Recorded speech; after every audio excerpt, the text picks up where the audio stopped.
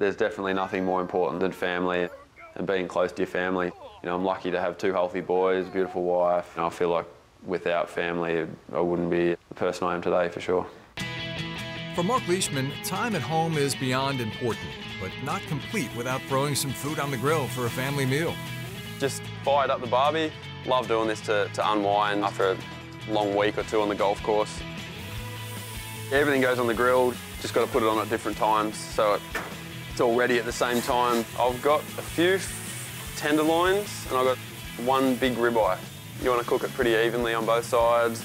You want that red or pink bit right in the centre. It's very easy. Nothing I do on the grill is too complicated. I enjoy good food, cooking out on the grill. Yeah, I do it quite frequently. So the steaks are just about ready, chicken's ready. Take it inside and uh, feed the family. All right, boys, who wants some dinner? Got some steak and some corn. We got chicken and zucchini. I think Mum cooked something as well. Hope you're hungry.